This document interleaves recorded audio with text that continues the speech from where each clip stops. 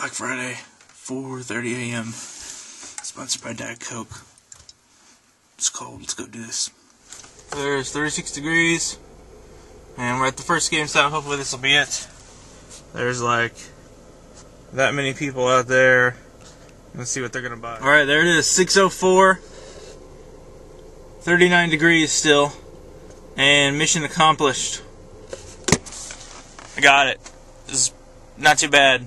Although most people didn't. I guess they only had three amazingly crappy. So uh, there was about 30 people in line, and the first six people, there were three PS3 bundles sold. So that was it for those people in the back of the line. Bummer. But uh, hey, if you get up and you stand in 37 degree weather for long enough, it is not a problem. And I'm going to McDonald's. Uh, yeah, can I get a number one uh, with the orange juice? Number one with the orange juice. Anything else? Uh, no, that'll be it. 438. There's the McDonald's, and there's the bundle. Sweet. Everything worked out. Everybody in line was cool.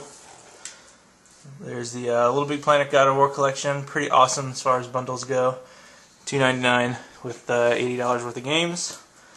And uh, seal the deal. Uh, so now I'm going to feed my pug a piece of hash brown. Because I woke her up. Togi. She likes it.